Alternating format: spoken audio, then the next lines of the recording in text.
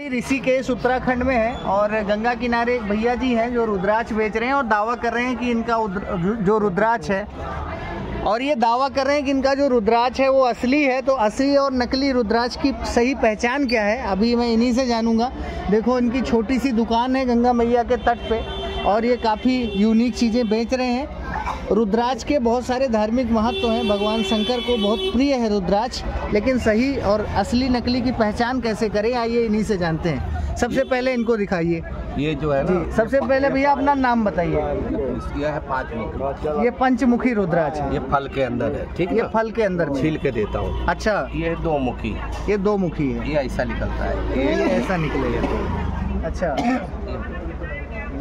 ये है तीन मुखी। अच्छा ये तीन मुखी। हाँ ब्रह्मा विष्णु महेश इसकी तीन लाइन होते हैं। अच्छा तीन लाइन। लाइन में से हाँ छोटा बड़ा अपनी साइज़ का ठीक है ठीक है। ना? इसी तरीके से हम्म जो थोड़ा बहुत रुद्राक्ष आप जानते हैं बनारस में हो चाहे कहीं हो अच्छा। सब नेपाल अच्छा एक चीज़ बताओ जैसे अभी हमारे मन में जिज्ञासा है रुद्राक्ष बनता कहाँ से मतलब आता कहाँ से? पेड़ पर हाँ ये नेपाल से होते हैं। पेड़ पे लगते हैं? इंडोनेशिया नेपाल। इंडोनेशिया नेपाल। हाँ। और कहाँ कहाँ से? भारत में अच्छा। जो है इसका नेपाल है। ठीक है ये कितने मुखी रुद्राक्ष है भैया जी?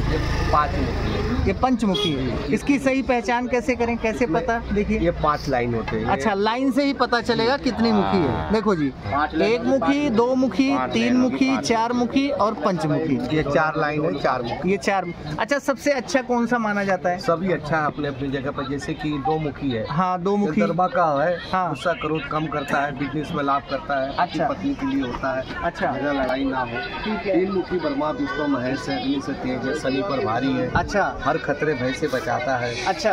तांबे के बर्तन में रख के पानी पिए बीपी शुगर कंट्रोल करता है। क्या बात है। लड़कों को पढ़ाई में नंबर वन पे ले जाता है। अच्छा। बाकी जानकारी गूगल पे रिसर्च कर लेना। हाँ जी, हाँ चार मुखी है ब्रह्मा जी का है। हाँ, हाँ। दोष मिटाता है। हाँ। गंदे कमर में दर्द होता है माता पिता को बाँध दिया जाए तो उससे बहुत फ़र्क पड़ता है। अच्छा।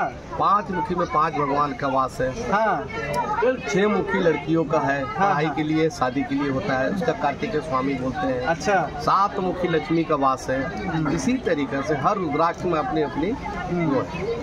भगवान शिव की आँखों से प्रकट हुआ है धरती पे। अच्छा। अब उनकी अलग अलग लीला है। अच्छा। एक से लेके चौदह चौदह अच्छा हमने सुना भगवान शिव को बहुत प्रिय है रुद्राक्ष। जब जब उसी के आंसुओं से तो प्रकट हुआ है। अच्छा। हाँ। बात है। तो ये जो भैया है ये फल के अंदर है? पाँच मुखी इसको निकाल करके आपको आप दिखला देते हैं। अच्छा। ये देखो मित्रों, आपको पंचमुखी रुद्राक्ष दिखाता हूँ। ये देखो, भैया कैसे जो है फल के अंदर से निकाल रहे हैं। मित्रों, ये एक्सक्लूसिव वीडियो दिखा रहा हूँ कि इस तरीके से पंचमुखी रुद्राक्ष फल के अंदर से निकाला जाता है। और ये पेड़ों पर लगता है, ज़्यादातर नेपाल और इंडोनेशिया से आता है। ये देखिए, इसका एक्सट्रैक्शन कैसे किया जा रहा है? एक अद्भुत प्रोसेस है। ये मुझे बहुत अच्छा लगा जान करके। ये देखिए। ये देखिए कितना बेहतरीन प्रोसेस है। अभी ये सफ़ाई कर रहे हैं। ये देखिए। बहुत गजब। आप पहले मीडिया में रहते थे क्या? मीडिया वाला।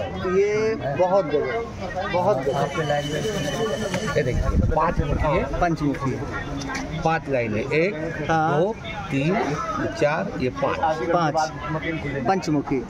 इसको मतलब धारण करने का सही तरीका क्या है और क्या क्या लाभ होता है इससे? इसको दो या तीन दिन तेल में रखने पड़ते हैं। अच्छा सरसों के तेल सरसों में। के तेल में। सोमवार के दिन इसको निकाल कर शिवलिंग से टच करा के लाल धागा में धारण करके पहनेगा अच्छा ठीक है। ज़्यादा करके सावन शिवरा- शिवरात्रि पे होता है। अच्छा। आम दिन अगर पहनना है तो सोमवार के दिन चुना जाता है। अच्छा ठीक है। इसको धारण करने से क्या क्या फ़ायदे होते हैं जी बहुत एनर्जी से भरपूर है। अच्छा। सब एनर्जी से भरपूर है भगवान कुदरत का ही है। नेगेटिव एनर्जी को दूर करता है हाँ। और पॉजिटिव एनर्जी को पास लाता है। जो कि ऋषियों मुनि लोग गले के अंदर में रखते थे हाँ जी। उन्नीस सौ नब्बे से पहले किसी को पता नहीं था कि है क्या। हम्म। उन्नीस सौ नब्बे के बाद में सब गूगल आ गया मार्केट में। हम्म, हम्म। तब लोगों को गृहस्थी वालों को पता लग गया तब लेना शुरू कर दिया। पहले ऋषि मुनि लोग गले में हुआ अच्छा और भी कई जड़ी बूटियाँ रखी हैं भैया जी आपने। ये क्या है? ये केदार कड़वी है। अच्छा इसके क्या बुखार है खांसी है। अच्छा अच्छा जड़ी बूटी है। तो बस यही है और ये क्या है भैया? ये वही है ऐसा ही है। अच्छा।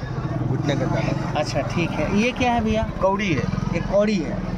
जो पहले मुद्रा के रूप में चलता हाँ, था? हाँ, जी जी अच्छा ये सब- समुद्र में मिलता है। ये सब गुजरात से आया हुआ समुद्र की अच्छा।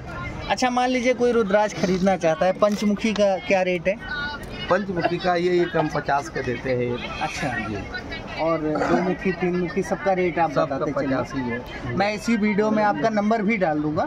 मान लो कोई घूमने आता है आपसे संपर्क भी कर सकता है। और एक चीज़ और दिखाओ कि भैया जो है एकदम डिजिटल हो गए हैं। जो मोदी जी का मिशन है ना डिजिटल भारत पेमेंट भी भाई साहब ये पेटीएम से लेते हैं देखो यूपीआई से लेते हैं। देख करके हमको